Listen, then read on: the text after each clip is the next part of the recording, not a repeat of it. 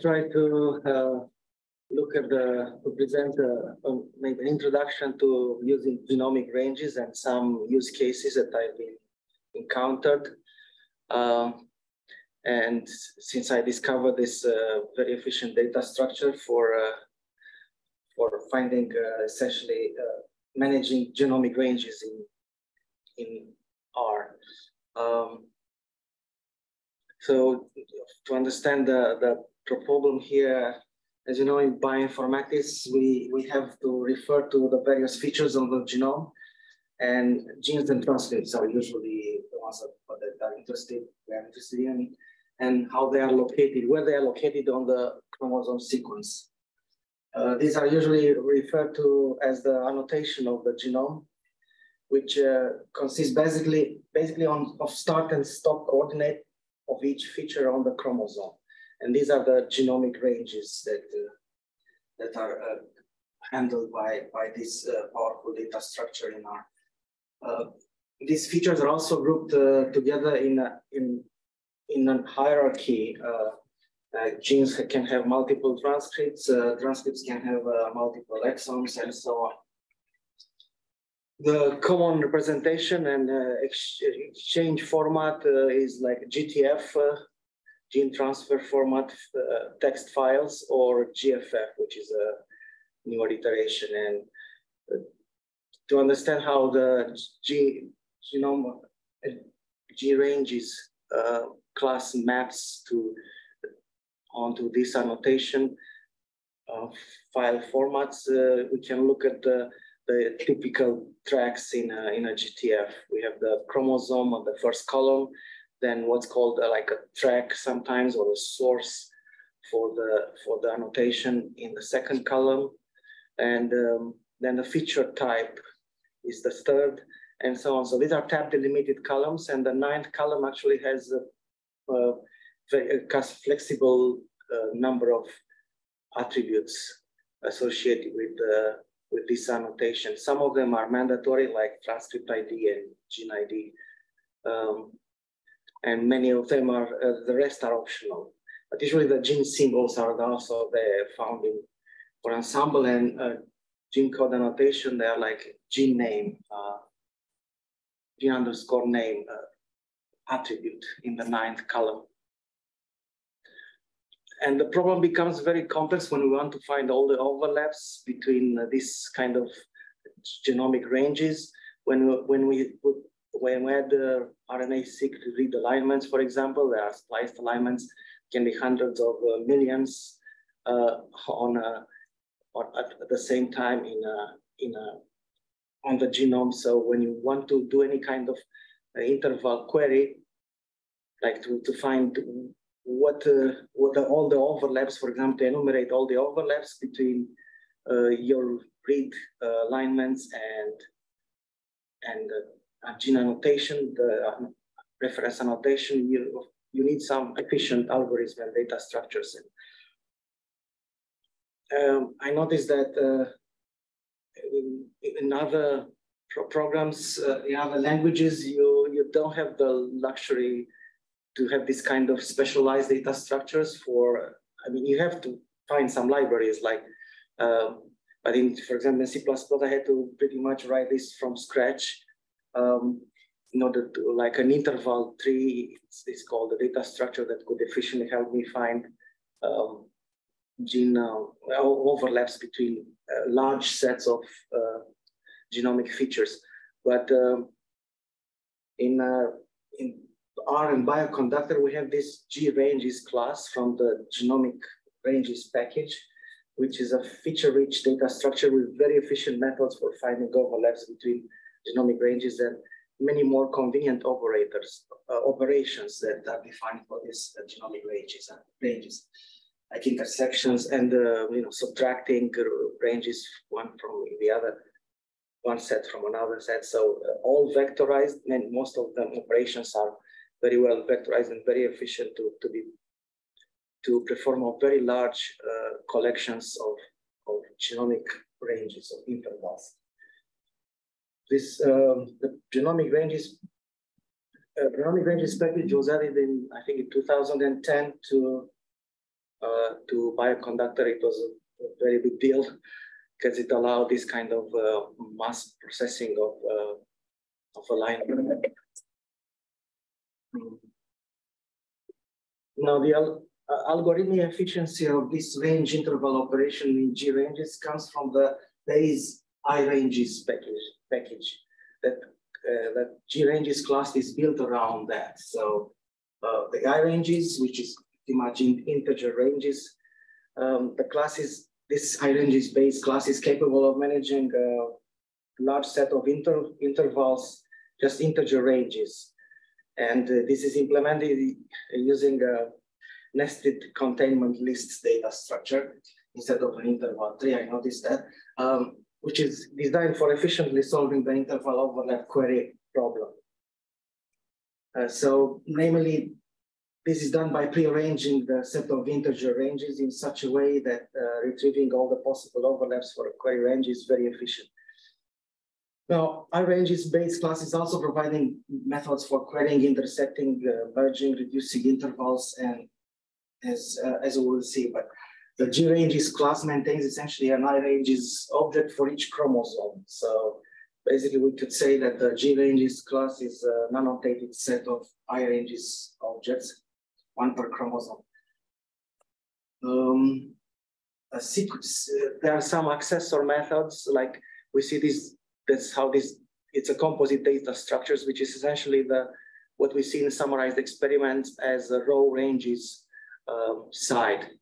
Um, so sequ sequence names are uh, the chromosome names, the first column, that is a, on the left here, we see the data structure that's responsible just for the ranges per chromosome and the strand added to the iRanges class.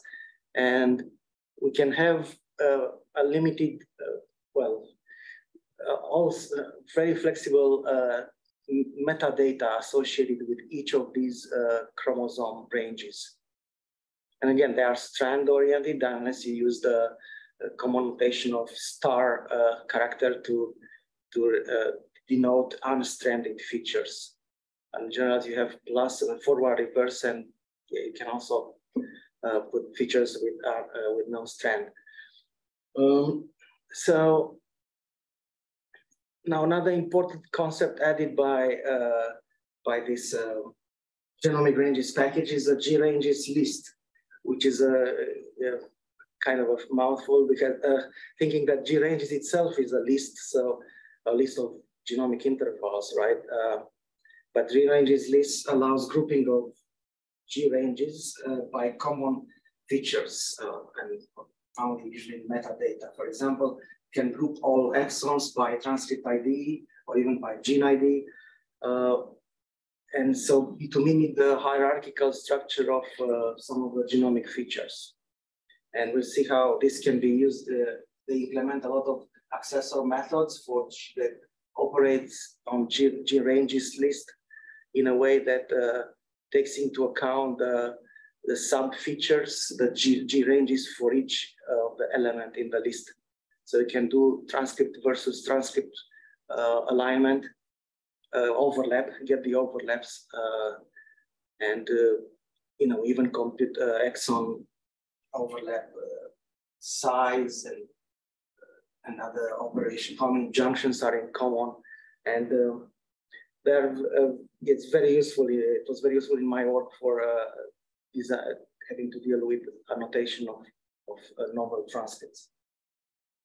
Ironically, in order to create a G-ranges list, uh, you have to actually use the split uh, command as shown in this example. So the split method, uh, which is essentially, yeah, splits the whole uh, G-ranges uh, by a specific feature. Um, in this case, transcript ID in this example. So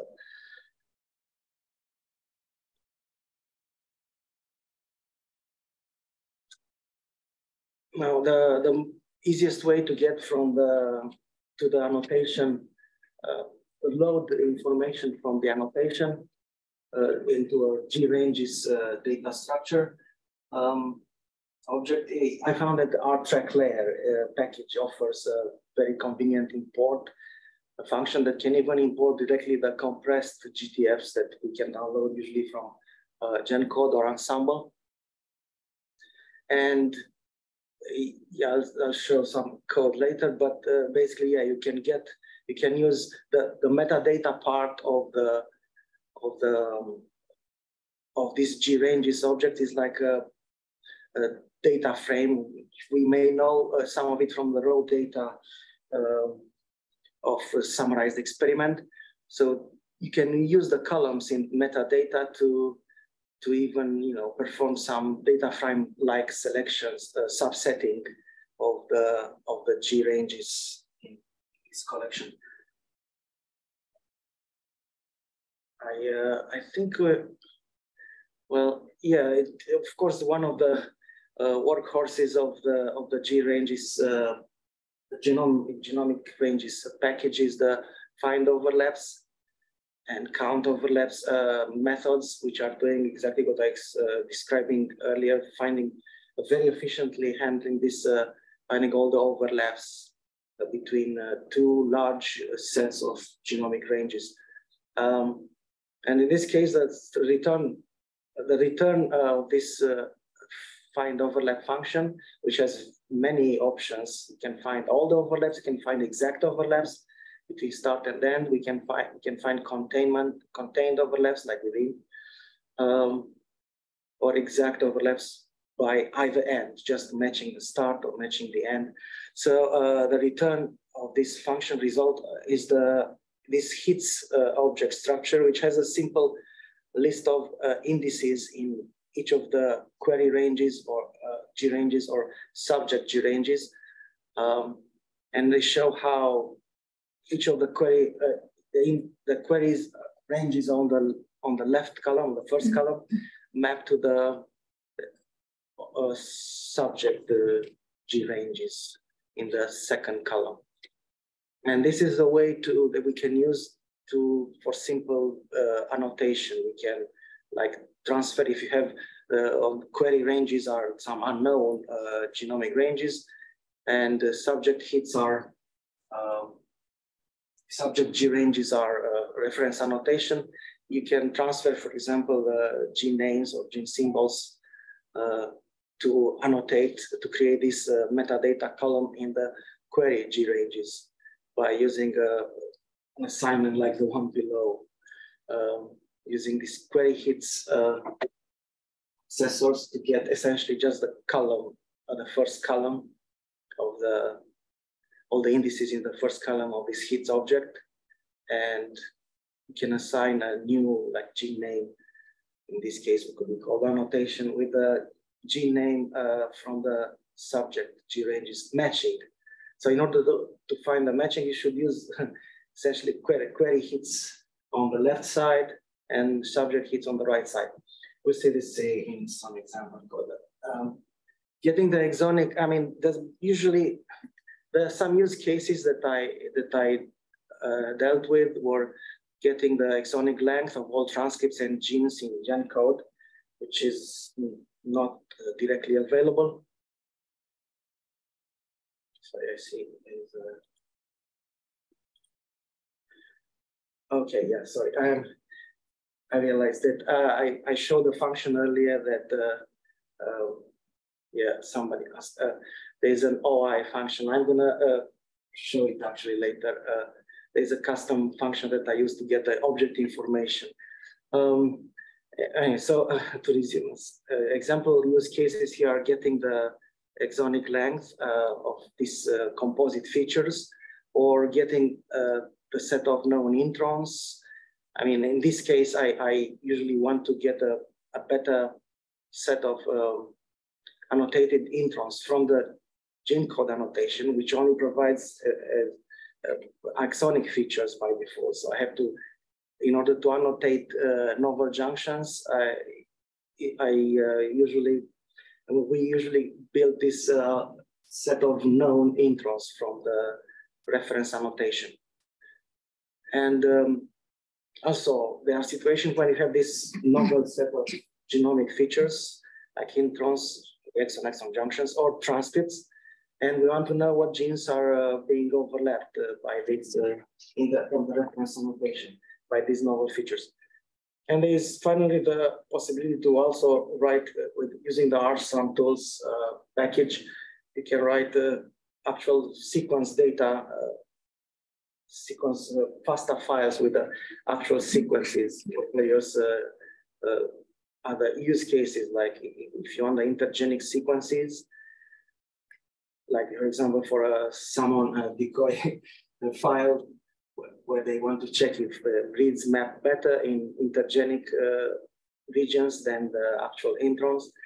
Uh, you can pull those uh, separately in a file and use that for various analysis, the intergenic sequence. And um, the same is another use, quite common use case is to write transcriptome FASTA files, which is basically all the transcript sequences, splicing the exons and put them in a FASTA file and use for analysis like uh, pseudo alignment with uh, Salmon or uh, kallisto. Quantification, essentially transcript quantif quantification. Mm -hmm. Now I would, uh, yeah, go to the code, but uh, I realized it was so much to cover that uh, probably it's probably hard to follow along. Uh, but I, the code is on the GitHub repository, and, and you can see a lot of other information there, like even the custom function that I mentioned, or I uh, we'll, we'll see it later when used, but uh, it's all on the GitHub repository. But here, there are quite a few tricks that I'm trying to use uh, to download the example files. well, I guess this shouldn't take more than a couple of minutes for some of them. The files are downloaded actually. I have this at check. So in my case, it's not gonna take long at all. I'm checking if they're already available. I don't need to download again. But uh, there are some examples file like you know, genomic, the main chromosome of HG38, which I use for some example, but being uh, compressed, uh, it's not a problem. Um, it doesn't take that long.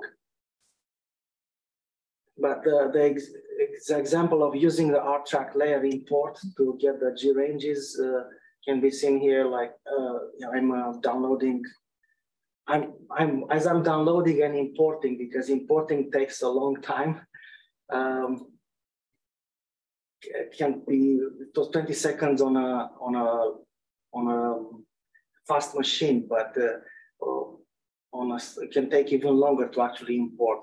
So in this case, I, uh, I imported it and I saved it immediately as uh, using the QS format, which is with QSave, uh, which is um, a faster way to get our, our data instead of our data to save our objects.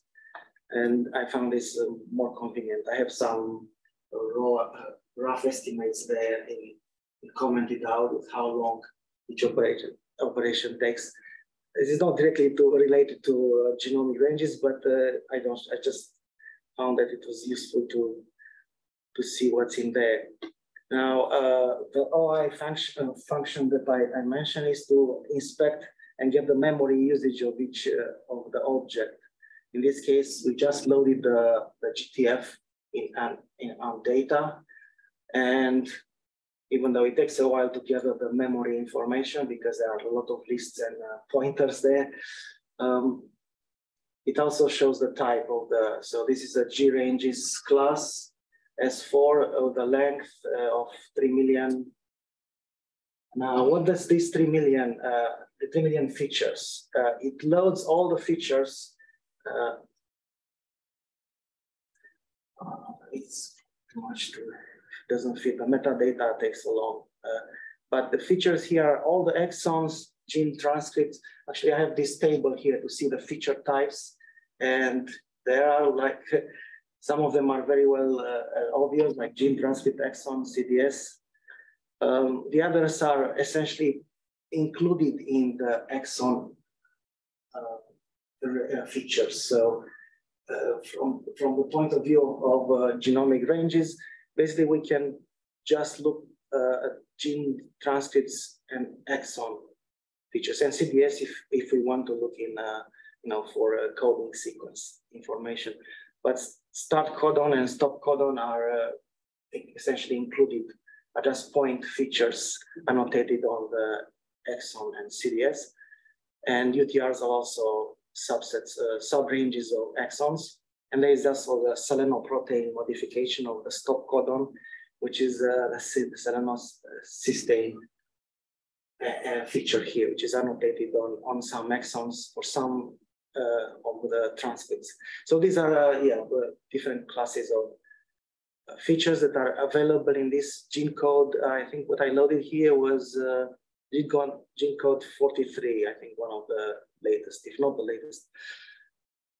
Oh, just the main chromosome. So it was much faster than doing importing because I used the, again, the prepared uh, file as a, saved as a QS. So this is a trick to that I, I like to use sometimes to not have to reload the whole, to import the whole uh, file the parsing, parsing being slow, right, of the text file there. Now, to get the exonic length for, for the transcripts, uh, we, we I can show here that um, we can separate from this, since in this file, the annotation data that I, I loaded has all the features, we can make a subset of, of uh, G, G ranges for just the transcripts. And in this case, I also assign the names because these are unique. I can assign names for each G ranges object um, to be the transcript ID, which makes sense when you have a, a subset of uh, just the transcript ranges. And then um, I also prepare an exon uh, genomic ranges, a set of uh, genomic ranges with just the exons. And here I show that how as I mentioned earlier, the split function, a split method for gen genomic ranges creates a G, G ranges list uh, with grouping the exons essentially by, uh, by transcript ID in this case, in this call. Um, and now here is a, uh, G, G, uh, G ranges list is uh, is a list essentially it can be traversed as a list. You can use L apply functions and, and apply functions in general to, to go through all the uh, subsets of uh, group ex, exons grouped exon G ranges grouped by X by transcript ID. But this would be very slow. And actually, there is something uh, interesting about the way G ranges list uses all sorts of compressed uh, in, in ranges and uh, around length encoding that actually using the lapply function is very slow. So you should try to use uh, vectorized functions that are methods that are de defined in the genomic range uh, genomic ranges package to operate directly on on uh, G ranges or G, G ranges list uh, objects, which is in this case we have this width function that actually recognizes the G-ranges list, list um, object and it performs the, it gets returns the exonic length for each transcript. Uh, so this is, a lot of things are happening before the, uh, behind the scenes there, right? Because width is a function also, the base uh, width uh, method is from coming from I, I ranges from the, just a simple integer range. And normally you can get the length of an interval of a genomic range using width, uh, but uh, in this case, it goes uh, into the each of G ranges in the G ranges list and gets the, the width, the width and returns actually a, a named list of exonic length where the name of this, uh, of this list, names in this list are actually the transcript IDs. So this is an interesting property that can be exploited here to get much faster than if you would get using lapply or something like that, because now you can also sum, uh, apply a sum for each of these uh, exonic length by transcript ID. So if you look at this uh, code, so if you just look at the TX length uh, output, which is the length of each, essentially it will have the length of each transcript in, in, in this uh, output of, of the sum function here. So, well, yeah, I'm doing uh, much more stuff, but the head, uh, yeah, you can see it's just a named list uh, from, from the TX, TX length. It's just a named list where you can get all the all the length, exonic length of each transcript because it's sound essentially, yeah, it sound the, the for each transcript sound uh, all the exon intervals, length of the width of each exon interval. So um, this is what we usually do for normalization. We need for these uh, features, we need the length parameter uh, in order to normalize and uh, keep track of keep track of the length of the feature. And I know that in for transcript data, for example, we don't really have that in our range uh, summarized experiments. So we can, we can compute it by using calculate it using this kind of uh, procedure. Um, now, we also, in a similar way, we can use the length function to, uh, which is vectorized over the, the G ranges list that I built earlier for each transcript grouping exons. We can get the number of exons for each uh, for each transcript and assign it as a see a length and num exon here are just new metadata columns that I'm adding to these G ranges objects, which is NNA uh, and TXGR. I know it's, uh, the variable names are not very uh, explanatory here. I tend to use very short variable names.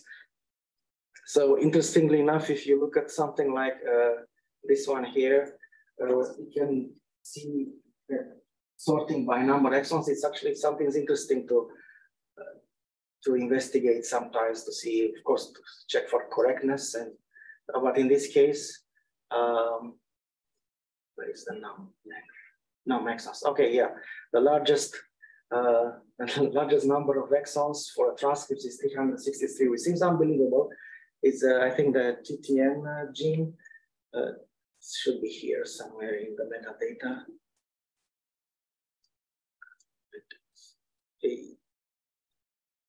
A titin or something. I'm not sure exactly how it's pronounced name right there. Yep. Yeah, but uh, I can see the. What did this type? First one.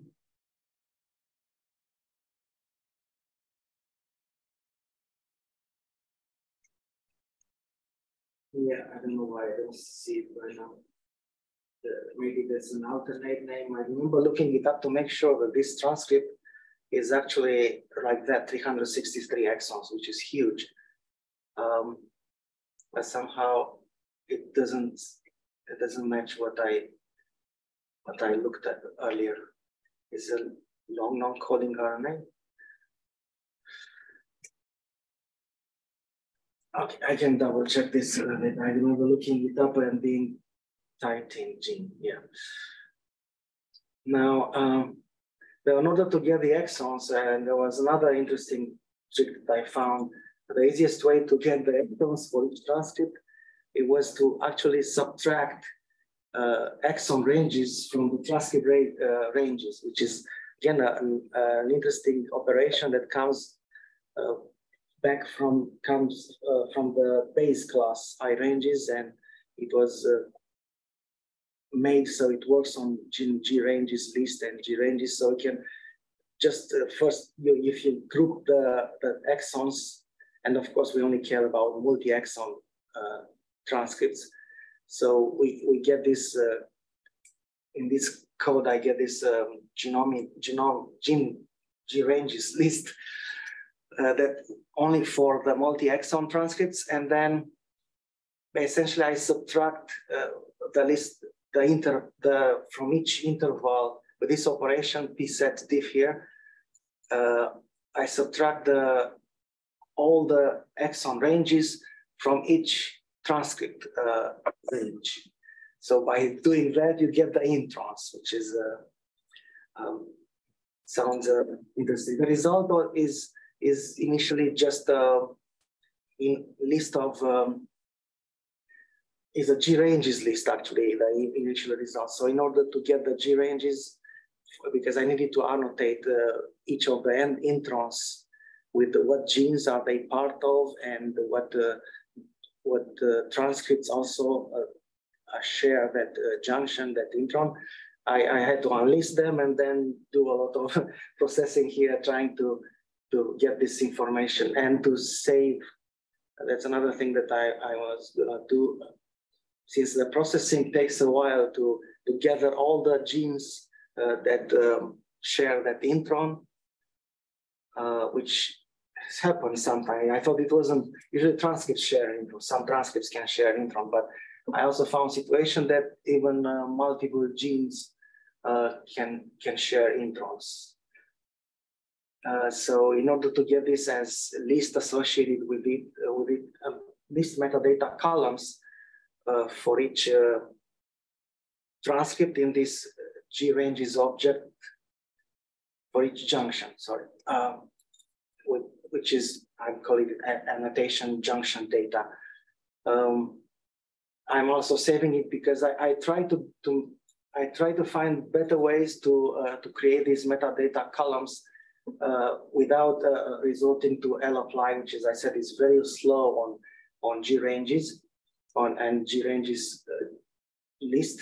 So uh, I resorted to actually some tricks using data table, which has very good aggregation capabilities. So this this code has nothing directly to do with G ranges, because I'm completing essentially the introns uh, G ranges to a data table in order to do this complex. so yeah, looks ugly. Uh, complex aggregation of fields like for example, gene names, of course, are going to be repeated. So I had to, uh, to, to make them unique and then also sort them because there are situations when I want to compare gene lists uh, for, for uh, different junctions and they, they have, in order to to compare properly uh, two gene lists, uh, they have to be in the same order, uh, the, the gene names in order to make sure. So that's why I also use sort in these lists to build this list. So this is a very powerful aggregation, um, creating multiple columns, aggregating columns using data table.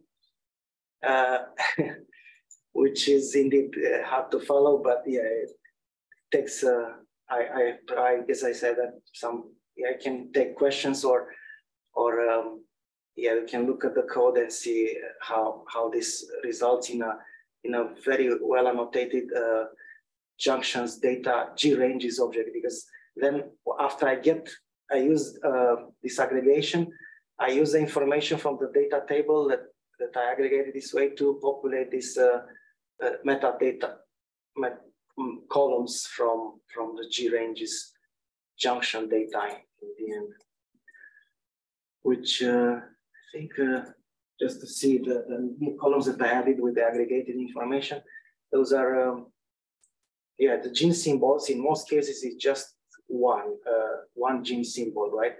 And one gene ID, but in many cases, um, in some cases, not many, sorry. Uh, you, as I said, there are actually cases where introns are shared by multiple uh, gene symbols. And of course, gene count is also, I, I, I, save it here, and the transcript count sharing, the transcripts sharing this uh, intron. So this is a complex annotation of these junctions, but these are actually the junctions from the reference. But this information has to be pulled uh, from the reference annotation, right?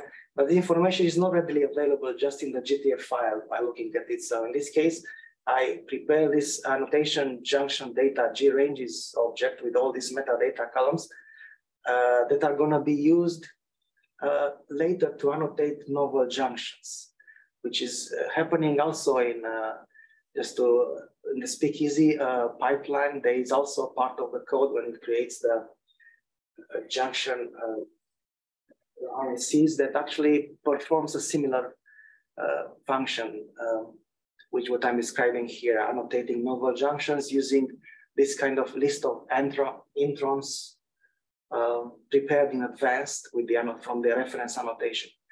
So it's a convoluted uh, process, but uh, yeah, the result is that you have this data structure that again, I'm saving it so I can don't have to do it next time. I'm saving it here uh, as a QS.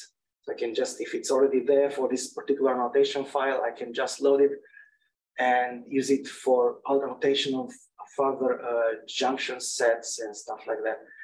That was just showing a good habit in for this kind of uh, complex processing. Now, to get the exonic length of genes, it should be a similar uh, method. But in this case, we have to take into account that exons for a gene, they can overlap. So, and what we want when we when we think about the what's the effective exonic length of a gene, is uh, you, you have to whatever is not is covered by any of the exons in that gene, which in this case, um, in order to do that, uh, you have to merge all the overlapping exons in the larger interval. That's uh, you know that in the larger set in the set of intervals that are only non-overlapping uh, exonic ranges. So there's a function that's called reduce here. It's also in the I think in base R, but it's specialized in this case on genomic ranges. Um, to take the output of, uh, to take the genomic uh, ranges, G, G, ranges list, which in this, in this case is the exon uh, group, exons group by transcript ID that I created earlier. And you can apply this reduce, reduce function, which is, which is gonna merge all the overlapping exon within within each, uh, in this case, I split them by gene ID. So in, within each gene, it's gonna merge all the overlapping exons. So again, uh, it's, this is, yeah, we can, yeah, this is documented probably better in the, yeah, in the, even though it was hard for me to, to find this kind of recipes, but they are described in the vignette, I think, for the genomic ranges. And uh, that's that's what we actually have to do in order to, to get the length column in the arranged summarized experiment experiments exactly for, for the purpose of normalization uh, for the row ranges in the RSE experiments, right? We have to create this length column exactly like I'm creating it here in order to get this uh, to effective exonic gene length.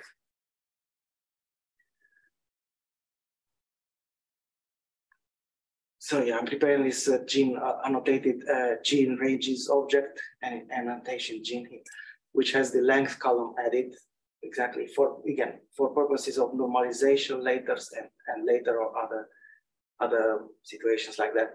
Um, now for junctions, I don't know how, yeah, it's uh, a complicated, if I want to annotate novel junctions, I have here a short example. Uh, did I execute this code? I want to make sure that I, I keep up.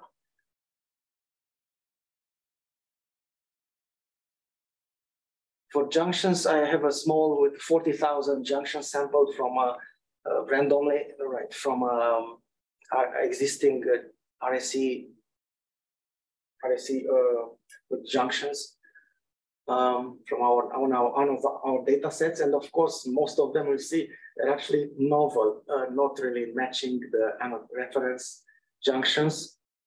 So here I just removed, they already annotated because as I mentioned, SPEAQeasy pipeline annotates uh, junctions, novel junctions, tries to, at least uh, some of them. And uh, and I here I wanted to start with a clean slate from that RSE JX uh, subset. So I nulled uh, the metadata and the names. The names actually, like we see here in this uh, output, they are, uh, we use sometimes names like this. This is 40,000 uh, junction introns found in, uh, in this sample here that I loaded. And it shows this, uh, yeah, right now they're uh, not annotated and I just assign name to be this string, which is similar to what we use to, to name our objects.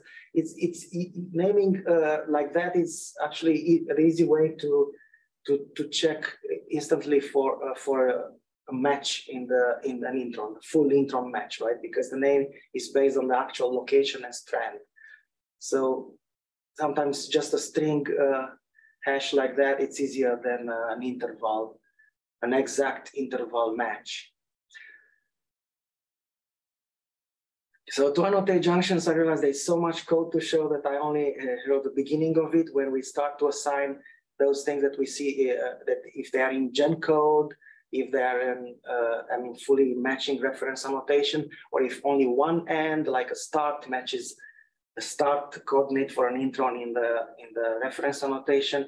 So this again, part of this code is uh, can be found in in the SPEAQeasy uh, R code for for uh, for building the RSE, uh, and but I I had to change it in quite a few ways because the, the I wanted to keep track of all uh, lists of genes and lists of transcripts instead of only one transcript or gene on only one gene symbol that uh, I think the code in there was was doing.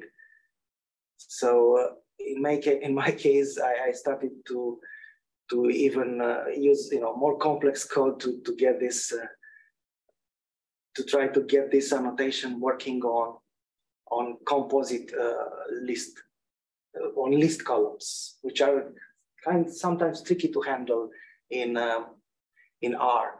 Uh, in this case, actually, I flatten them because since they are sorted, I can usually check if they are two like two lists are identical um, by just checking the, the string match. But uh, yeah, the annotation here, uh, the end, ending annotation is going to be like a flattened list.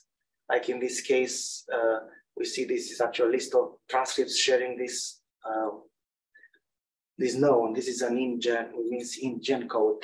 It's uh, it's annotated as being already uh, present in in reference and the reference annotation GENCODE. So uh, yeah, and code like this, uh, it just takes the junction annotation that I reference junction or introns, the G ranges that I prepared earlier, and uses it as uh, to annotate these some of these so-called novel junctions. Some of them, I mean, they are, yeah, some of them are novel at this stage, but this is a progressive annotation. So it's, it looks for various situations when you just, uh, the start is matched, the start coordinate or the end coordinate is, is matching the known intron start coordinate or end coordinate. So yeah, this, we, we can do this kind of uh, classification of junctions that's happening in the when when we build this RSE in order to annotate uh, large uh, date sets of uh, junctions. So now uh, it's important to to realize that this sample of forty thousand is is nothing uh, compared to what we usually get from a data set with hundreds of samples.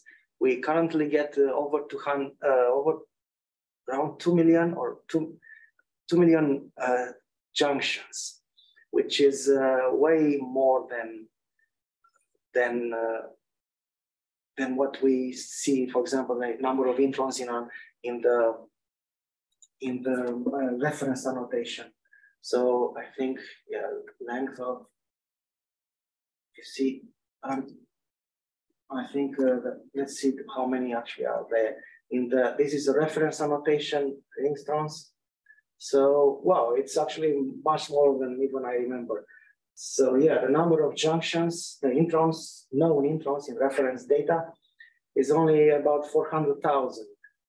But what we get out of, uh, of our uh, SPEAQeasy pipeline during, because of um, HISAT2 alignments, we get uh, like uh, around 2 million for, for a few hundred uh, RNA-seq samples. When we merge all this uh, junction data, we get a large matrix of 2 million by a few hundred samples, which is a huge matrix to keep uh, to keep around.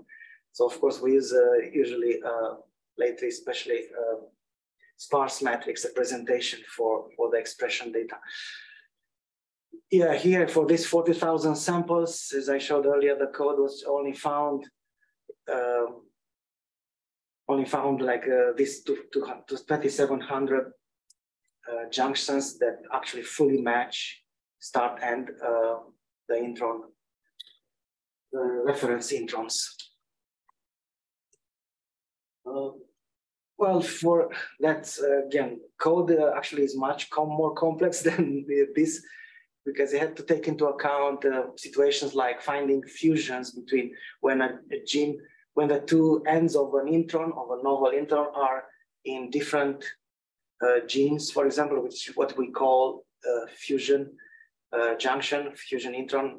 It connects two separate genes and it doesn't happen in the reference annotation, of course, but this is a this is something that we want to report. So the annotation of these junctions can, can get very complex, especially when you have to handle list of genes, uh, list of uh, transcripts and, and, and, stuff like that for each end of an intro of an intro. Now a simpler situation here is when we have a novel transcript, I created one G ranges uh, object out on the fly, considering uh, to be unknown. Of course, I actually took some introns, uh, exons from a known gene for this example. And this is a simplest example of showing uh, how find overlaps uh, works. So uh, if I just, if I create this G ranges object and I search against all the uh, G ranges that I prepared for all the transcripts, we get uh,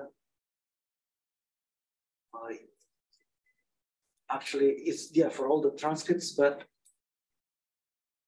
I think, yeah, I think I find the overlaps for in two ways. I'm showing that you can use the hits uh, at exon level,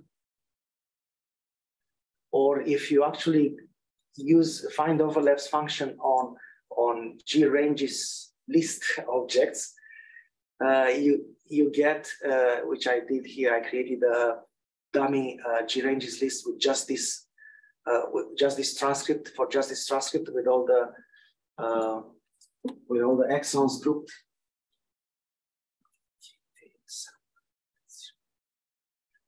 So this is a simple G ranges list object with a single entry, which is my unknown transcript, with uh, this um, three exons that I defined. And I, I found the overlaps, uh, again, it's good to search, find the overlaps between two G, G ranges list objects.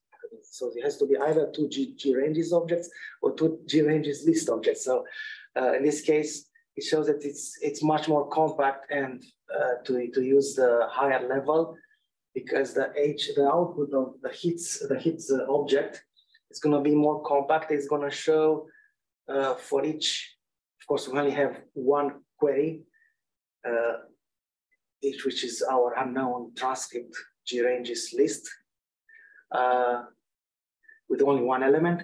And uh, subject hits are all the genes, actually all the G ranges list from annotation, all the transcripts that have overlaps, any kind of exon overlaps. So this find overlaps goes down to the exons, right, in each of the G ranges list and uh, reports this at uh, the, the higher level, the transcript level in this case. So this is the index of the transcript in the G ranges list. Uh, and these are the indices of the of the matching found have some exon overlaps in uh, the reference annotation transcripts grouped by list. It's indeed, it's hard to tries to follow. I realize that. Uh, and anyway, the, the output is you can use this this very in a silly way, maybe that just to annotate. I think I, I executed that, one. let's see the output again. So just to annotate, um, with these genes, uh, collected these genes in a list because you can hit multiple genes, right? When you have an unknown. Uh, so in this case, I, uh, I used unique, right, to, to, because some of these names could be duplicated from the from the from the transcript that it uh, overlapped. So by collapsing the list to unique entries, in this case, I only got one gene, which is SNX19. But an interesting feature here is that you can actually add uh, metadata at at G, G ranges list level, which is uh, kind of, I couldn't find this very useful because this object uh, has only essentially a, a, name of the, of the, it's an element, list element, right? So uh, when you use uh, metadata to associate to a, to a transcript ID here in this uh, object, you only have um, just this, you don't have a genomic range associated at that level directly. The genome, actual G ranges are, are in the list of G ranges that you are grouping which is the exons in this case. So I, I didn't find it very interesting to put the metadata at, uh, at higher level for the G ranges list. Even though it is a possibility, I'm not sure how exactly how I would use that. I mean, you can see I can add it actually here. I'm showing that maybe it's better to, to add this for each exon for that unknown transcript because that's how they are grouped anyway. Uh, so if you do this, you assign, so to this monkey X, transcript, the G ranges for this transcript. Now they have the, the genes assigned as a metadata column based on these overlaps, which again could be assigned as I did here at the uh, G, G ranges list level, but uh, it doesn't seem to be very useful since the G ranges are here. Um, I don't know, I guess uh, it's getting,